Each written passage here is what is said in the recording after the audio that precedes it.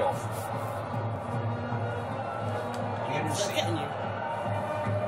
Yeah, that's getting me. It's an elusive run. He's hit without Struck by Henriksen. Henriksen just about dealt with it in the near post. Yeah. Well, that's the first time we've seen any real intent from the home side.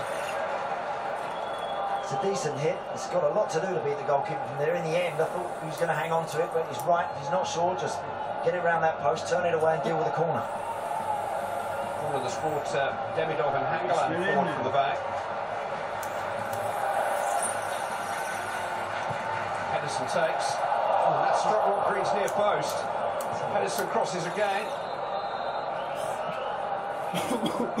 Flags up on the uh, far side. He's already stepping out, Rob Green, to maybe look to come and claim that. I don't think he's going to stop that. That justifies that post. That could go flying. Look at the goalkeeper. He's off his line. No one on that near post. Thanks, mate. Wasn't even minding. That could have been an very awkward moment for Rob Green. That.